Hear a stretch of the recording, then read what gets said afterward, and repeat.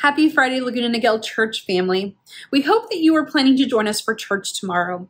Tomorrow, we will have our last youth and adult Sabbath of the year. This will be our fourth, and like those that have come before, we have incredible things planned. We have an all youth praise team that has been practicing to lead us through three Christmas songs. One of our preteens will be playing the bells and a young adult will be sharing a spoken word. We have the Vanderveen family, Ava, Le uh, Leah, and Emmett, uh, putting on a Christmas skit for us. And we have a few other participants who have never participated from the stage doing so tomorrow.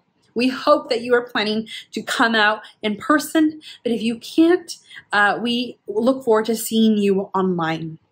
Later in the service, I will be sharing a message out of Matthew 1:23, which says, "Behold, the virgin shall conceive and bear a son, and they shall call him Emmanuel," which means God with us.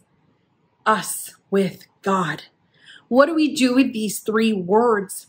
How do we take these three words and apply them to our life and then share them with our family, with our friends, with our communities, with our world this Christmas season? What does that look like and how do we do that? We will be talking about that tomorrow. And then at 5 p.m., please come back for our Christmas concert. We have so much planned for you and so many participants. Uh, the Spanish church is coming down and joining us, and they're going to be uh, singing a Christmas song, and then the Camacho brothers will be playing for us. We have uh, a trumpet and trombone duet. We have uh, many of our kids on the piano and some of our best singers sharing some music for us. It's going to be a wonderful time. Please come out at 5 o'clock. And last, we want to remind you about the new mask mandate here in the state of California. We are now being required to wear a mask indoor. I know this is frustrating and we've been here before. And so we ask that you please bring a mask with you. If you forget, do not worry, we'll have some extra at the door.